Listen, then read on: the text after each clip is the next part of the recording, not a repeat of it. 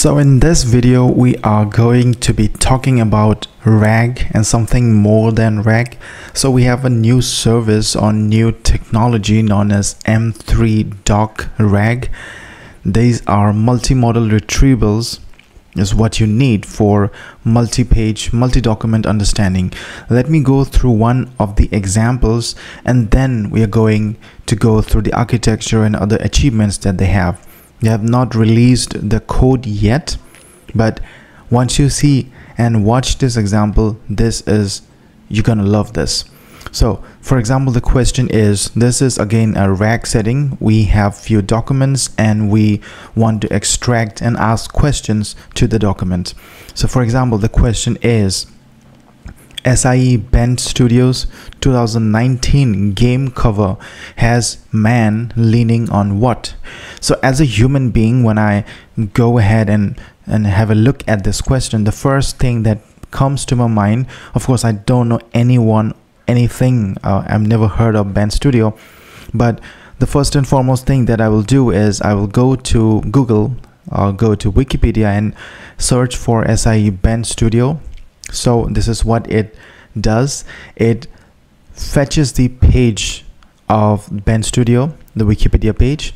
And in that page it is able to locate a game known as Days Gone.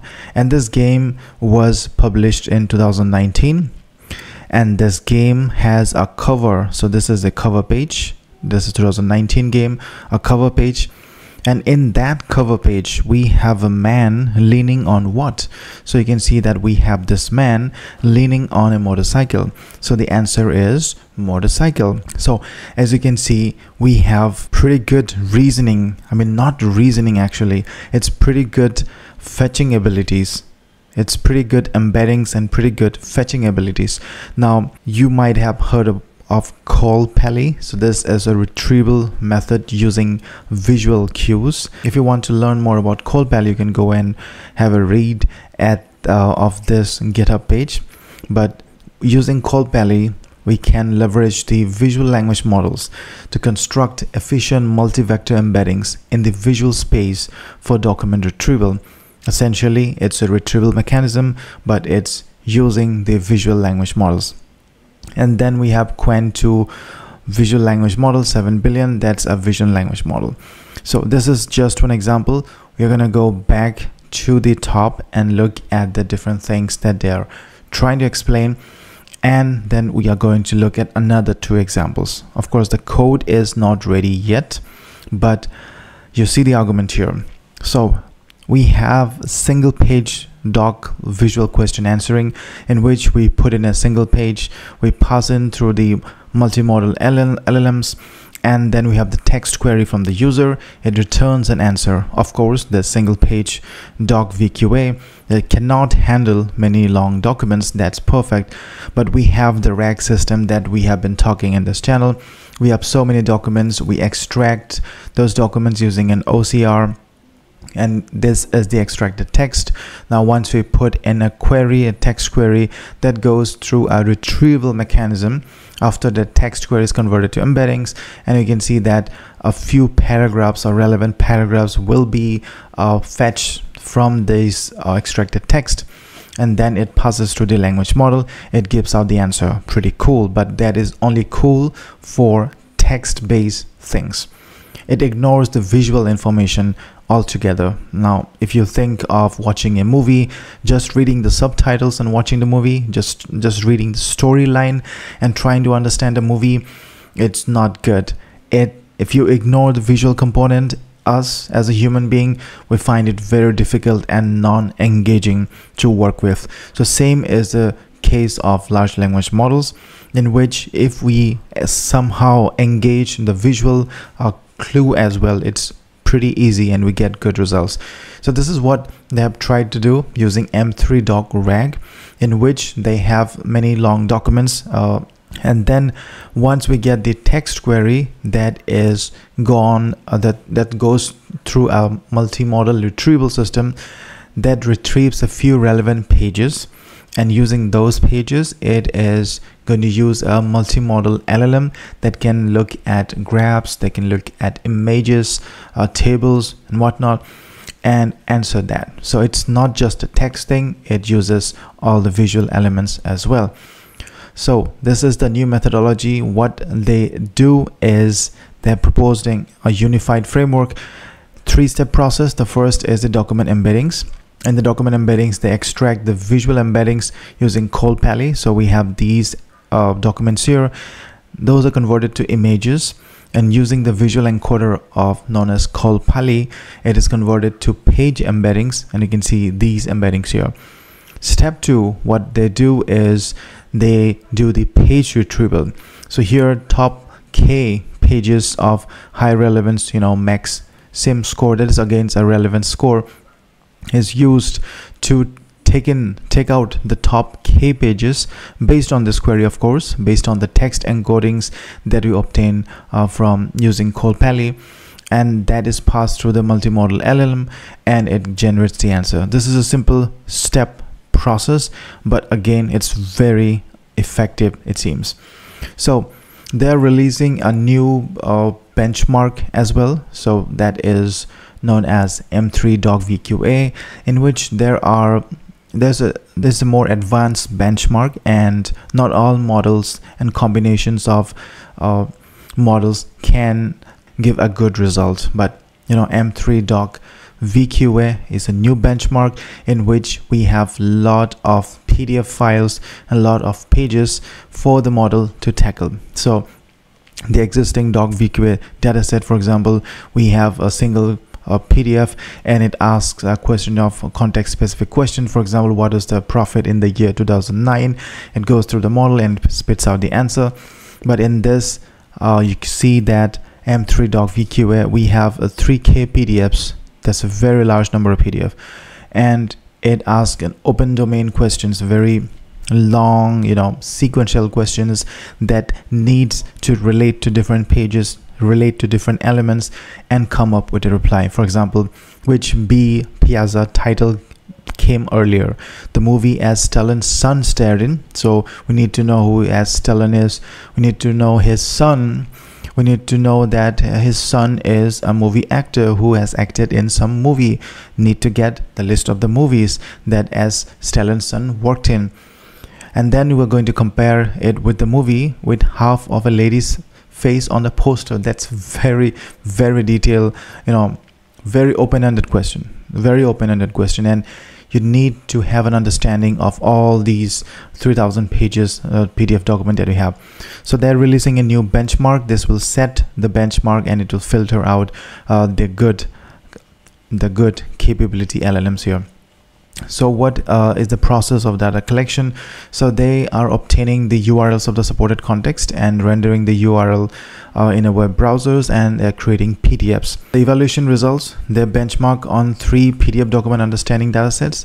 So first is the m3 doc vqa then mml long bench doc then mp doc vqa now regarding the performance we can see that their proposed model which is m3 doc rag uh, that is based on Pally for the embeddings and Qwen 2 visual language model 7 billion for the visual language model for or the multimodal model.